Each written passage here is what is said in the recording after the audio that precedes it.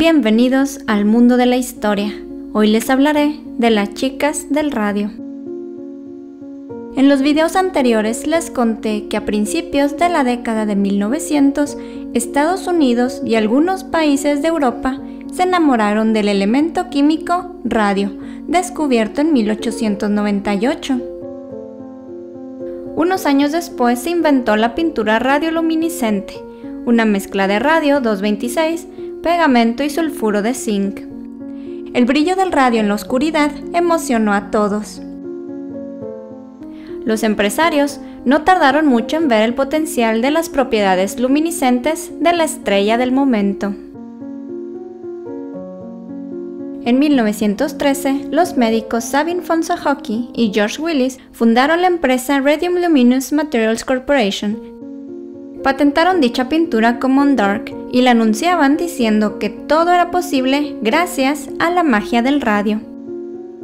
Cuando Estados Unidos decidió entrar en la Primera Guerra Mundial en 1917, esta empresa consiguió contratos para pintar los relojes de los soldados y los paneles de los instrumentos de aviones.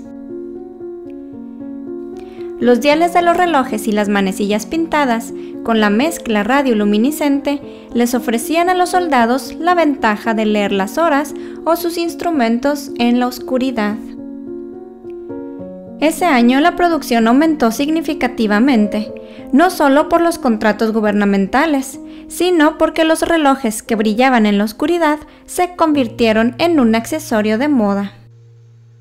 Como el trabajo de pintar estos relojes requería mucha delicadeza, la US Radium contrató a decenas de mujeres y adolescentes, algunas con apenas 14 años, para que pintaran los diales y las manecillas de los relojes.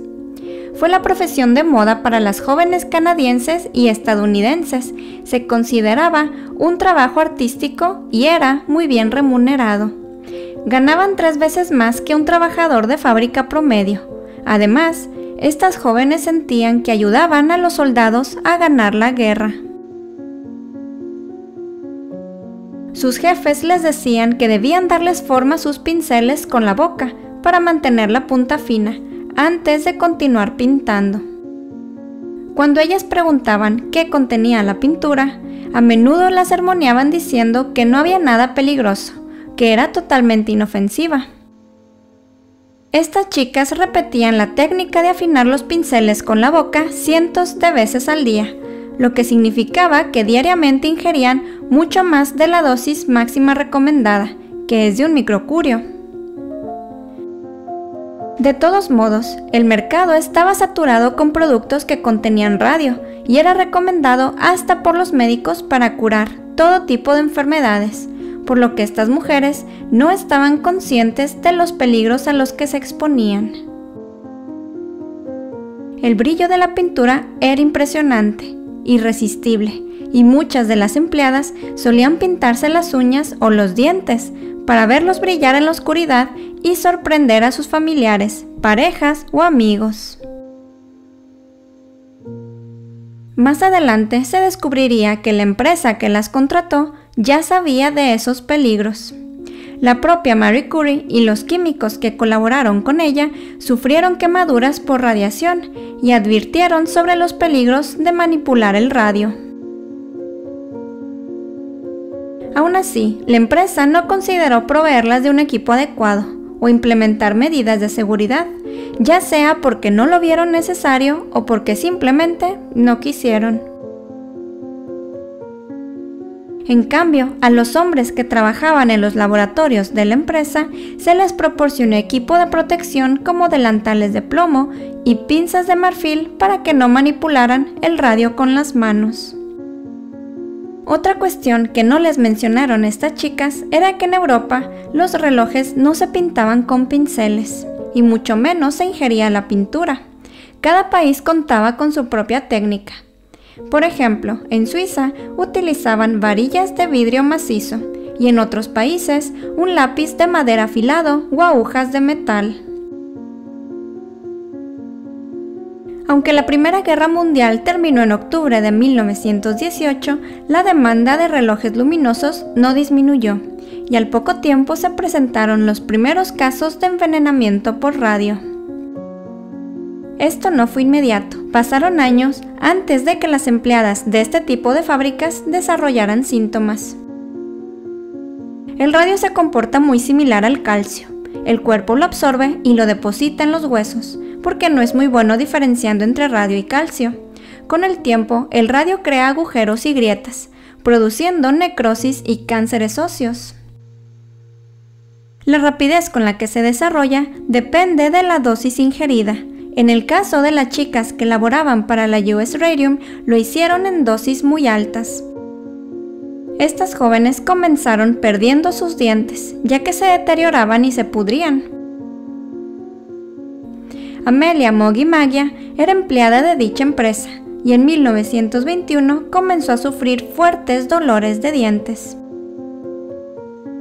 Al acudir al dentista, este le comentó que era necesario extraerle un diente. Al paso de unas semanas, le tuvo que extraer otro diente, luego otro y otro. En una de esas intervenciones, el dentista quedó perplejo al sentir cómo se rompía la mandíbula de la joven entre sus dedos. Amelia sufrió los espantosos síntomas del envenenamiento por radio y murió al año siguiente con tan solo 24 años.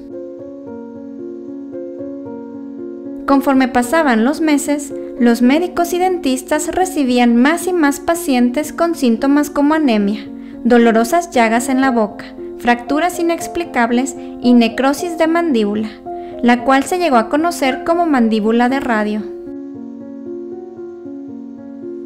Los dentistas estaban desconcertados por estos síntomas. En un inicio pensaron que se trataba de envenenamiento por fósforo, pero los niveles de fósforo no estaban elevados.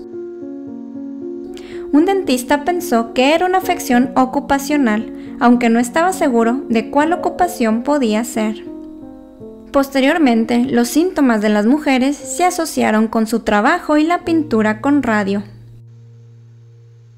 La epidemia de personas moribundas con síntomas de necrosis ósea llamó la atención de las autoridades.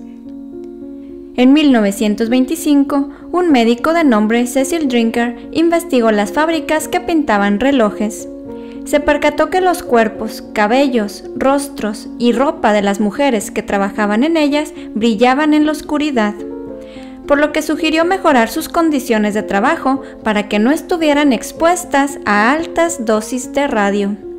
Estas sugerencias fueron ignoradas por las empresas y particularmente la US Radium pagó para que se realizaran otras investigaciones, en las cuales las conclusiones contradecían a las de Drinker. En un intento de difamar a sus empleadas, atribuyeron dichos padecimientos a un brote de sífilis y que solo querían obtener ayuda económica para pagar sus facturas médicas. Incluso en el certificado de defunción de Amelia Magia se estipuló que había muerto de sífilis.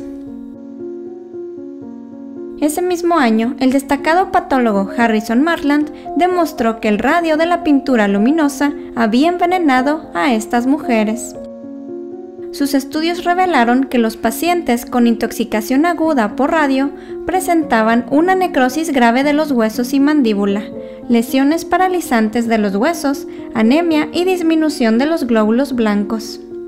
Así también que esos síntomas los habían desarrollado entre 1 y 7 años después de haber trabajado de manera constante en las fábricas, por lo menos durante un año, y murieron pocos meses después de la aparición de dichos síntomas.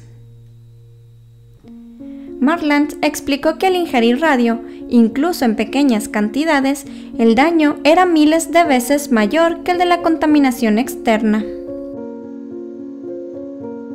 El 15 de octubre de 1927, el cuerpo de Amelia Magia fue exhumado para investigarlo.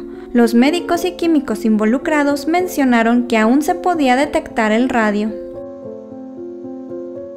Por ese entonces, Grace Fryer, otra empleada de la US Radium, también sufría de envenenamiento por radio.